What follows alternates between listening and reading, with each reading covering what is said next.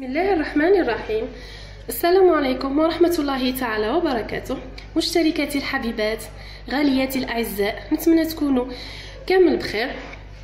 حبيبتي انت اللي راكي تشوفي في القناة وتشاهدي في فيديوهاتي لأول مرة ما تنسايش تشتركي في القناة فعلي الجرس.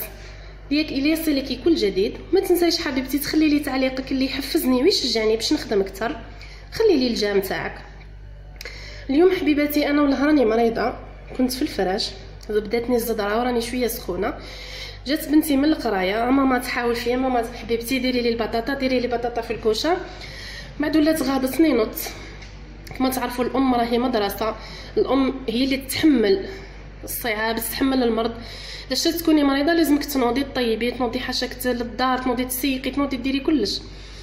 الساكي ولات غاضتني نوض درت لها ما كانش عندي الدجاج بزاف كانوا عندي طريفات فقط. حبيت نشارك معكم الوصفة تاع اليوم اللي هي بطاطا في الكوشة. بطاطا في الكوشة تاعي أنا من ما نحطش les ingrédients بكل في الكوشة نحط à part الدجاج. البطاطا نقليها في الزيت يا بخي نحطها في la sauce شغل البطاطا بيضة. alors نخليكم مع les ingrédients. عندي حبيبة تاع البصل. حكيته في الحكاكة رقيقه عندي طريفه تاع الدجاج. عندي الثوم. عندي زبدة. عندي ملح وفلفل أسود وعندي البطاطا هنا على حسب افراد العائلة. البطاطا هذه أنا نقليها وأبخي نحطها في لاصوص الكوشة تاعي ديجا سبق لي وسخنتها. بسم الله. أنا كان عندي شوية رز تاع القيله راهو مازال. بسم الله. نحط البصل. نتوما واش درتو العشاء؟ شاركوني. خليو لي في les commentaires تاعكم. واش درتو؟ واش طيبتو؟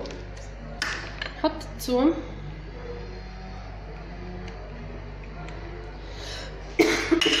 عفوا. نحط قليل من الملح والقليل من الفلفل الأسود.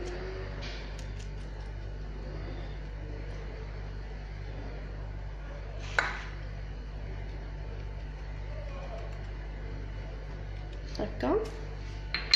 نخلطهم.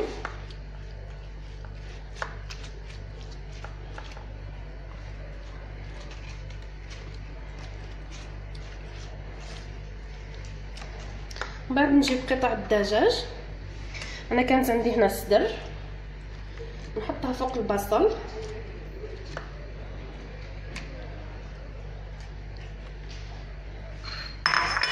ونحط لها قطع الزبدة.